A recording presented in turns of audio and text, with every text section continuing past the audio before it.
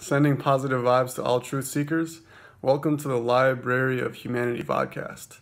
Here we're looking at the faceless man from Game of Thrones, the philosophy of the ego. And what does it mean to be faceless? That is going to be the question in this podcast. So we're looking at the Bravo. In Braavos, there's the House of Black and White, where Arya Stark goes and wants to be a faceless man or a faceless woman. So, the main question in the philosophy of the faceless man is this Who wants to be faceless? Right? It's, it's, it's the ego. So, we're going to talk about in this episode that the face is going to be like the ego. So, who wants to be faceless?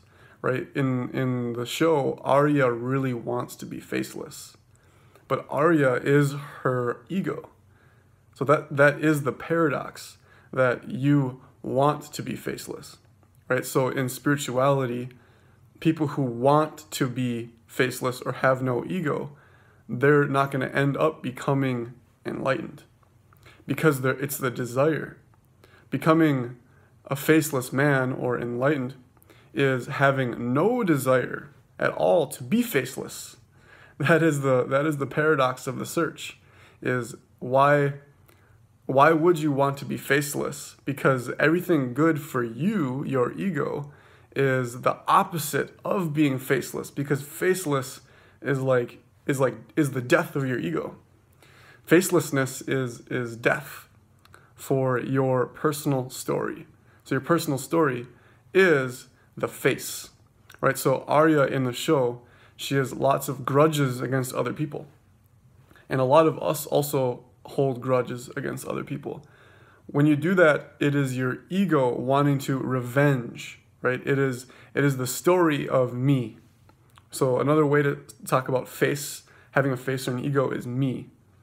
So for Arya, Arya is trying to avenge all of the things that have happened to her in her past and she believes in her mind and her thoughts that she that she deserves to have this justice right so that's kind of the negative side of justice is when you want to avenge certain things that you perceive as bad bad things that you perceive that have happened to you in your past so one of the main things that we that we try to get over over in our in when we have a face and when we have an ego is the idea that things in our past weren't supposed to happen or were supposed to happen. So it should have happened or it should not have happened.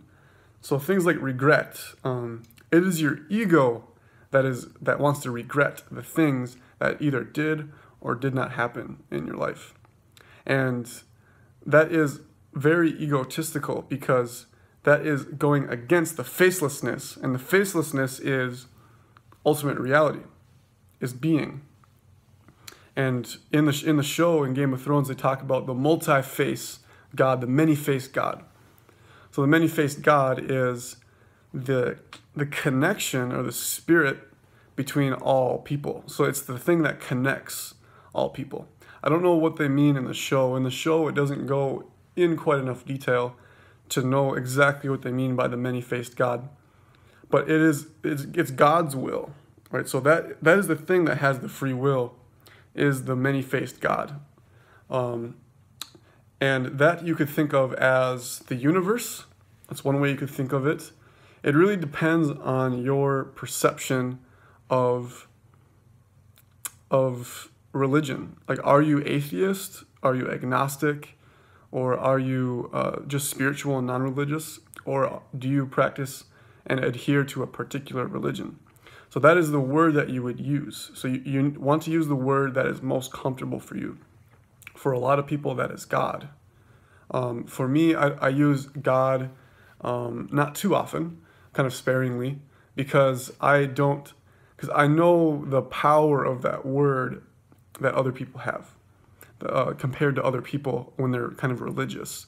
They, they want to use that word as the idea of God and not actual actuality of God, the actualness of God. Um, and to be so facelessness or the many-faced God, we cannot ultimately use words to describe what that is. It is it goes beyond human all human concepts and language. So when, when we have a face or an ego, we are using language all the time to to talk about our story. Um, and this is the sense of I am, the sense of me. Uh, so we're going to use the, the phrase I am and me as a little bit different. There's, they're going to be a little bit different because me is the perception of your life story and also the the agenda. So one of the main things with with ego and having a face is this agenda that you're pushing into the future. Um, that and the agenda is this that you your the body or the body mind and soul that you have. So it is yours. Uh, that's how we perceive it right? The body mind and soul wants to continue its story into the future. So ultimately egos are almost all about the past and the future and it's not about now. It's really not about now because it is, it is creating a story. And in when you read a novel, it's almost always about the past and the future and not really what's happening in the now moment and the now moment without any interpretation of that now moment. So, uh, so the, the face of the ego loves to interpret always, always interpreting. And the, the second that you interpret um, what is happening, it is no longer what it is. so, so in, interpretation is not the thing. It's really, really important to know. Like, for example, when you're translating for another from another language, right? So like the ego translates the now moment. So when you're translating from another language, like for example, I, I speak Spanish pretty decently. Um, so when I'm trying to explain, uh, when I'm trying to translate from Spanish to English to another person, it's actually not the same thing. It's literally not the same thing. Um, like when when you say like la silla, which means the chair, no, I'm I'm saying la silla. that's that's different than the chair. Um, so you cannot you cannot translate directly from language to language, and it takes away it takes away like the Spanishness of the world. like when I, when I speak Spanish, for example, I see the world in a particular way. Uh, I don't know if it's because I learned Spanish in Ecuador, where and in South America, where everything kind of seems a little bit more magical and kind of exotic because I'm not I'm not Ecuadorian, obviously. I'm American, and because that because of that, when I was living in Ecuador, everything seemed kind of exotic. And so that's why I have a connotation of the Spanish language with kind of the, the magical, the mysterious, and the exotic, and the beautiful. So that's why Spanish is actually, I, even though I'm not very good at Spanish um, compared to a fluent speaker or a native speaker, uh, I, I prefer Spanish over English overall and how it's structured and how it makes the world just seem kind of magical. And that's just my opinion. I don't know how other people perceive Spanish. But anyway, so it's all about it's all about the ego interpreting the moment and it's it's taking away the essence of the moment. So let's think of an example in in in Game of Thrones. In Game of Thrones, Arya is always again thinking about she's always like strategizing about her her her best interest, so her ego's best interest. And but that's not looking at God's will, right? So so one of the characters um, well, you don't even need to say his name.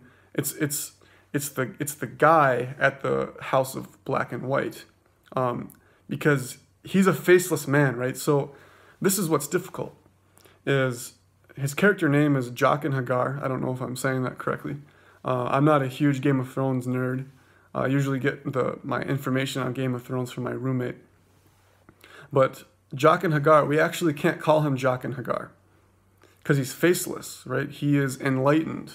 He is the enlightened being. Uh, so when we say Jaqen H'ghar, that's not what Jaqen H'ghar is. When because we are perceiving Jaqen H'ghar to be a specific way from our interpretation, right? We are not a faceless person yet, right? Maybe if we are striving towards spiritual awakening, for example, like me, I, I'm really pushing, I, I want to put more effort into it, but I'm really pushing towards spiritual awaken, awakening and enlightenment and being in my life. Well, it's not even my life. It's just I want life to occur without all of this interpretation, interpretation from this this Kyle, this me that that is interpreting reality. I, I see the suffering that that that, that uh, creates and engenders. Um, so going, i am gonna go. I'm gonna continue on that topic in a second. But let's go back to the to the idea that you can't call Jaqen H'ghar Jock and Hagar, because there there isn't a Jaqen H'ghar, right? There's an, he's he's faceless. There's there's only facelessness.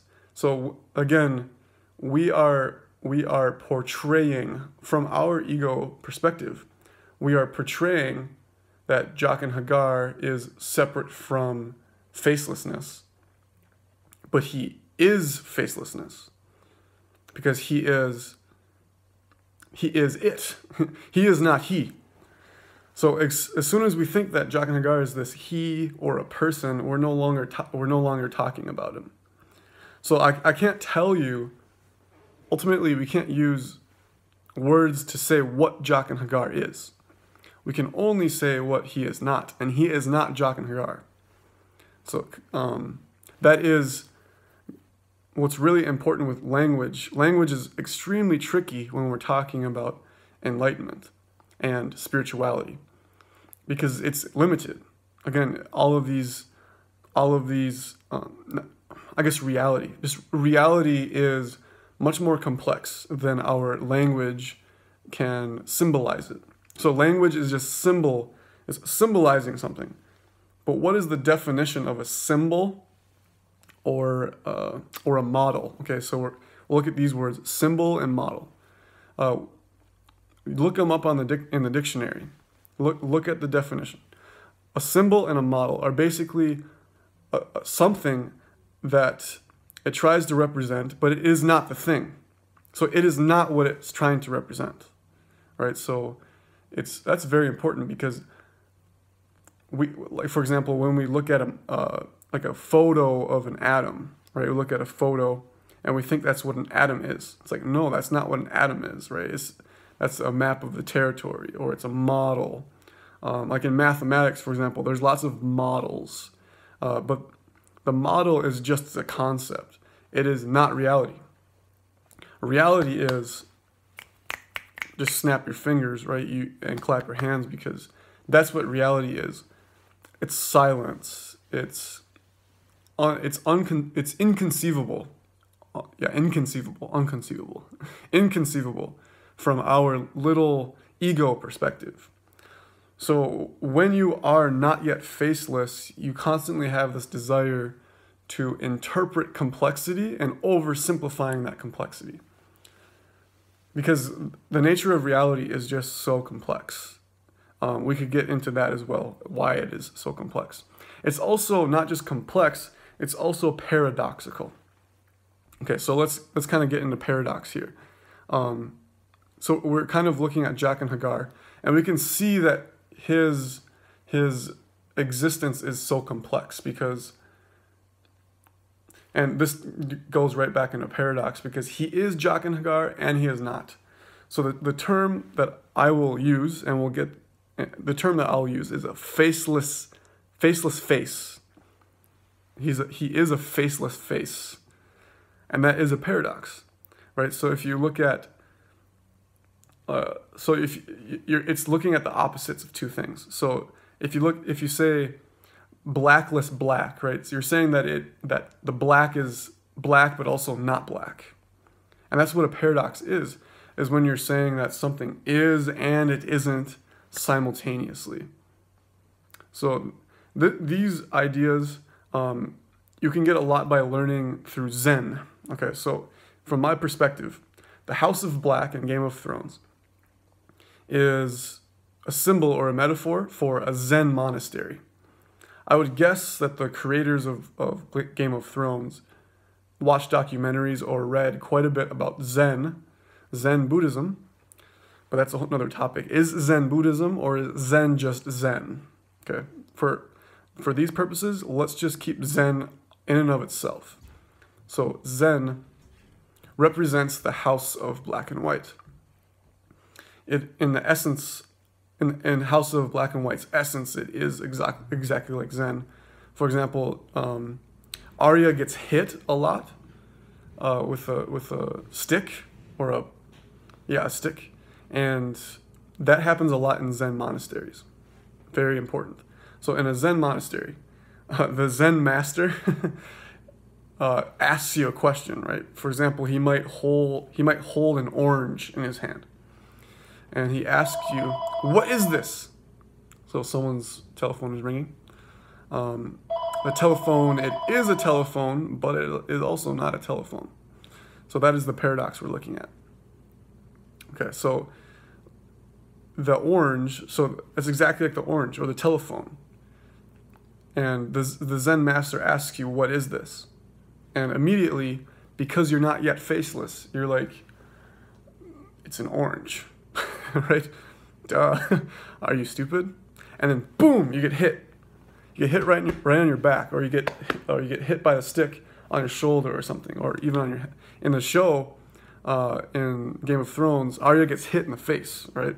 She's super tough, and act, but I think her toughness, her in my opinion, her toughness gets her in a rut for not becoming faceless, because she perceives herself as tough. Like, you know, I'm this tough little girl. You know, I, I can, I can uh, go through, I can get through anything. Um, but I think that is a big barrier to her becoming faceless. Um, right now, I'm not yet on finished with the show. I'm on season six. So it's I'm it'll be interesting to see where she heads in her spiritual development of what she is. But from my perspective, I don't see how she's going to become faceless because she has such a big ego and has a lot of baggage from her past and her future. Um, and that can happen if so if, if she went to a Zen monastery. If you went think about if you went to a Zen monastery and this create you would perceive him or her as crazy Zen master. Um, traditionally, they're men, but now, of course, men and men and women. There's a lot more Zen happening in uh, in the United States since the 1960s. Um, but traditionally, of course, Zen comes from Japan, and it's full of traditionalism.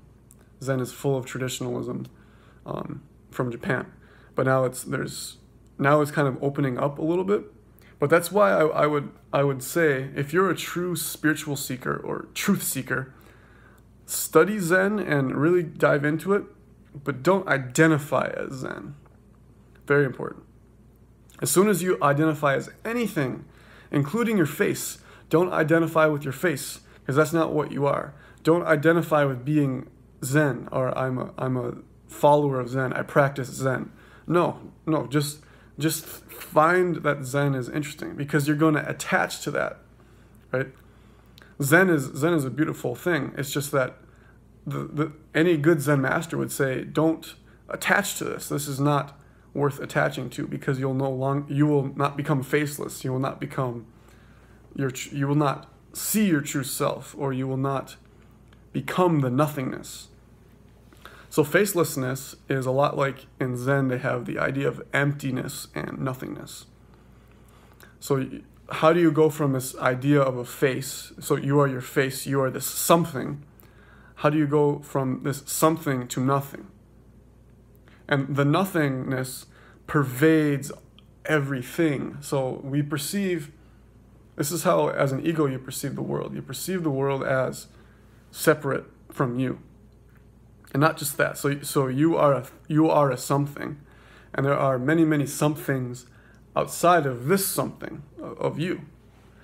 And that is how we are conditioned in the world. We are conditioned by our family and friends growing up, and we're we are taught by our culture basically about this separate separateness, this duality. That's another that's another word to use besides se- separateness, you can say duality.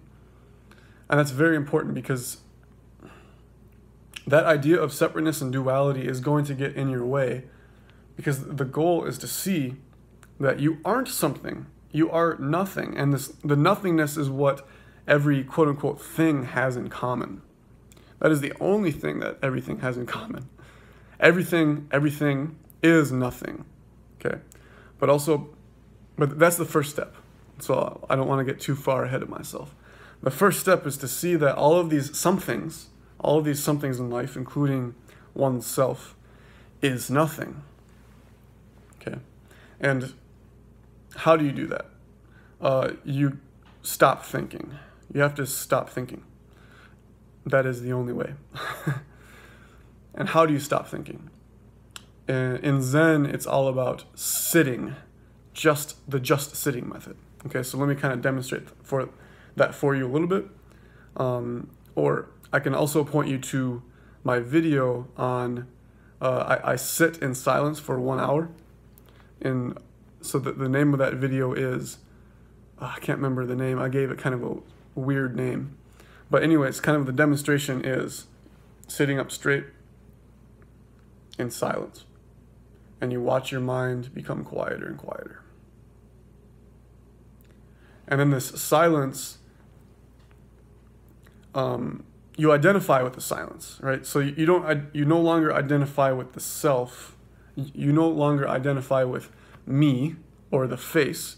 You identify with facelessness. Facelessness again is nothingness. So you you just instead of saying it, you just realize it. You realize that I am nothingness. So that's kind of going back to this, this idea where me and the I am are different. So me is again the story of the past and the future that has an agenda to perpetuate its exist- its existence. And then the I am is is what is always in the present. I am is always now. Very, very important. I am is here now. And it's always here now, and that here now actually, here and now, never leaves because it's impossible not to be here and now. So that's the key with facelessness and I am is that it's always here and now, right? So we have to identify with that here and nowness, this facelessness. Because in the here and now, there, there are no faces. Because the interpretation of the now moment, again, that, that is that occurs in time. Our that incur, that occurs in our perception of time. Our perception our perception of time from the ego perspective is past and future. So we have to go beyond that past and future. And the only way to do that is by existing now and here. And the, the words here and now can't explain what here and now is. So you have to go beyond the words of here and now. That's why you have to go beyond Zen. Because Zen is a concept. And Zen is a concept that's full of people, full of faces. So, but Zen is a good map, I would say. Zen is a good map for the territory. But it's not the territory, the territory is the facelessness. The territory is here now without saying here now. Okay, but you're going to get, we are going to get lost because of the, the thinking, the thinking self. Okay, so I haven't actually talked about this a lot, is the thoughts, our inner, our inner thoughts. So for Arya, why she will not become faceless is because of her thoughts. That is ultimately what's going to happen why she won't ultimately become faceless. Again, I haven't seen the whole series. Um, I don't know if I don't even know if in if in season seven or season eight she's still at the House of Black and White or still in Braavos. So that um, I'll have to wait and see. But I don't see her becoming faceless. Or if she does become faceless in the show, I think the authors of the authors have a weird interpretation of who can become faceless. I think there's a really select group of people who are ready to become faceless.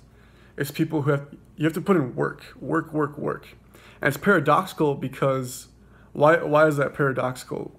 That like to become faceless, you have to work at it. But it's your face that has to work.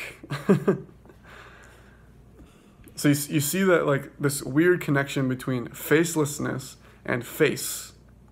So you want to become faceless, but your face is in the way. So what do you do with that face when you want, want to become the facelessness? Okay, what, what do you do? Well, I'm asking you, who are you? What are you? What am I? What what am me? What is me? What is me, right? So if I ask myself, what is me? And I ask you, what are you? Because I'm saying you you want to become faceless. But you don't become faceless. You is not that thing that becomes faceless. Facelessness is nothing. But the idea of me and you is something. so you're starting to see all of these disconnects, right? Uh, but they're actually not disconnected. You have to embrace these paradoxes. Embrace it. You have to love it. You have to live in paradox. Like, for example, nothing and something is the same. You have to see the nothingness in the something. And that's the paradox, right? Like right now, I'm looking around the room and I'm seeing somethings, a lot of somethings. But what is the, all of the essence of it, right? So then I look at myself so that myself I see something. I think myself is full of some things, and it's not just one thing. So that actually helps me see that I am the nothing because I'm just an a, amalgamation. I'm just a connection between. Hi, John. Uh, I'm making a video. I was, I was wondering what was going on. That's all right. I, I was untold. no problem. Uh, so the idea with this nothingness is seeing all of these things as the nothing. And that is going to be the paradox. So that, and again, we have to embrace that paradox. So ultimately, with face, facelessness, it's the only way to be that is not to want to be that. You can't want to be that faceless. So that that is what's going to get in the way of our spiritual spiritual awakenings is the desire to want want to be that. And the desire is going to spring from our thoughts. So that's very important. So all of us have thoughts that are going to get in the way. But whose thoughts are they? It's very very important. Whose whose are whose thoughts are they? You would say that they're oh they're my thoughts. But what is what is me, right? What is me? And you see that me is just something that is the story, the story of the past and the future. So, kind of to, to wrap up this vodcast, it's going to be a little bit of a shorter one. Usually they go for about an hour. But to be really, really precise, is is silence. So facelessness is silence that is here and now very important. Whenever whenever we're believing our thoughts, whenever our thoughts are believed by us, that's going to be a trap. And when we're believing in anything, right, the, the belief in 100% of a physical world, that everything happens and everything is physical, um, that, is, that is a belief that's going to hold us back. Or even the belief that everything is consciousness then you're, you're not willing to open yourself up to the physical world too. So that's that paradox where things are, everything is consciousness, like empty consciousness, and things are these physical things that are happening in this Newtonian physical world. So uh, it is it is a beautiful paradox, and it's not life; it is existence. It is life, but it's also existence. Those are not quite the same thing but we have to open ourselves up to living and existing here and now without talking about it, without having the desire to articulate that. Okay, so that's it. Uh, comment below if you have questions or if you want to nerd out on Game of Thrones, that's fine. I don't know too much about Game of Thrones. I'm just uh, a casual watcher of Game of Thrones, but I am I'm an ardent searcher of truth. So please, if you have questions on truth, comment below. Uh, like this video. The more that people like this video, this type of message goes out to the world, goes out to us, goes out to we. So we are all the same. We are all connected in this consciousness, in this in this oneness, right? The the non-duality, the oneness of all. And when when we're opening ourselves up to this paradoxical view of life, this beauty of life, that is what is going to connect all of us. And that is the internet. The internet YouTube is that is this connection between all faces to become faceless. Right? YouTube is one of the good one of the good sources to open yourself up to facelessness. All right. Peace. Have a good weekend. Peace.